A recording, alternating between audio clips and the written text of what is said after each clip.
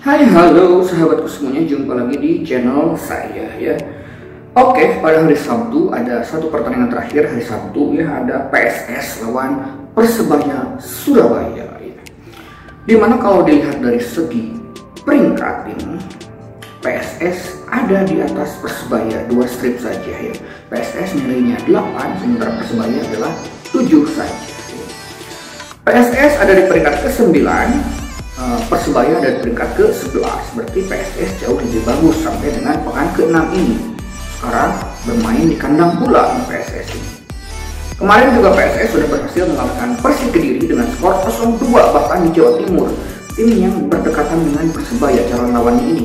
Mungkin gaya-gaya sepak bolanya Jawa Barat, Jawa Timur agak sedikit punya uh, ciri khas yang eh, sendiri-sendiri uh, mungkin ya. Mungkin PSS juga di sini sedikit lebih diunggulkan di bursa handicap karena bermain di kandang tentu saja. Eh, PSS sebelum kemarin menang itu tidak terlalu bagus ya karena sempat kalah di kandang juga sama eh, PSM Makassar sempat di kandang sempat sempat kalah di kandang sementara calon lawannya adalah uh, ada di, di bawah mereka di peringkat ke-11 ini Persebaya pun tidak terlalu bagus sampai dengan saat ini karena uh, setiap tandang ini agak sedikit kesulitan sebayangnya ya. Ketika catatannya di sini ketika lawan Tirakambo ini tandang juga kalah. Persebaya ketika pers lawan Persita di, di kandang baru menang. Terus tandang ke Bayangkara FC kalah juga. Bayangkara di kandang lawan Madura 2-2 terus tandang ke Borneo kalah juga ya. Berarti Eh, terakhir pertandingan kemarin persebaya. Ya berarti setiap tandang ini persebaya tuh selalu kalah ya.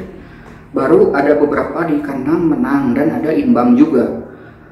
Berarti di sini di bursa handicapnya tentu saja ini PSS agak sedikit diunggulkan karena bermain di kandang dan uh, lagi bagus juga lagi on fire kemarin sedikit ya. Ini di bursa handicap yang sudah saya catat di situs Sporbet ini PSS lawan Persebaya ini eh, PSS memberikan pur kepada Persebaya ya.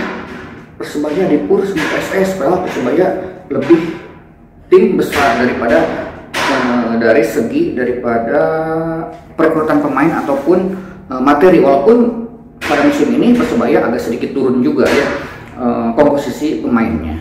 Mari kita segera prediksi ya PSS Sleman lawan Persebaya Surabaya di mana PSS memberikan pur setengah ataupun 3 per 4 ya. Prediksi dari saya adalah PSS Sleman lawan Persebaya Surabaya bakal menang PSS Sleman.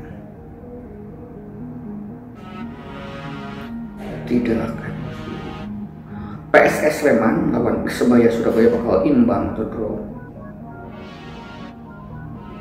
Oke maju mundur bosku PSS Sleman lawan Persebaya Surabaya bakal menang Persebaya Surabaya. Tidak akan ya. Oke berarti hasilnya adalah imbang ya berapakah imbangnya? PSS Sleman lawan Persebaya Surabaya bakal imbang 0-0 tidak imbang 1-1 Oke, akhirnya maju mundur ya. Prediksi saya adalah imbang satu-satu. Bursa handicap yang berlaku di partai ini adalah tuan rumah PSS Sleman memberikan pur setengah ataupun 3 per 4 kepada Persebaya Surabaya berarti PSS diunggulkan di sini kandang tetapi prediksi saya adalah imbang satu-satu ya Berarti saya di sini kalau prediksinya imbang adalah pegang bawah ya, pegang tim yang tidak diunggulkan, pegang tim yang tandang, yaitu saya pegang Persebaya Surabaya dengan menahan setengah ataupun 3 per 4 bola ya. Prediksi saya imbang satu-satu. Mudah-mudahan Persebaya bisa menahan imbang satu-satu. PSS Sleman di kandangnya atau bahkan mungkin Persebaya bisa uh, memberikan kemenangan buat para bonek mania ya bahkan bukan tidak mungkin ini mungkin kemarin Marcelo Ferdinand mencetak gol di eh, menit-menit uh, akhir ya ketika lawan PSIS lagi on fire dan lagi gacor-gacornya Oke, terima kasih pada teman-teman yang sudah kemarin ada sedikit berkomentar, meminta prediksi. Saya kemarin nggak sempat ya, sekarang saya menyempatkan kembali. Terima kasih sudah menyimak video ini. Sampai jumpa lagi di video saya yang berikutnya. PSS Sleman lawan Persebaya Surabaya. Saya pegang Persebaya Surabaya dengan menahan setengah bola, namun tiga per empat. Karena prediksi saya adalah imbang satu satu. Ini syukur-syukur bisa menang Persebaya Surabaya.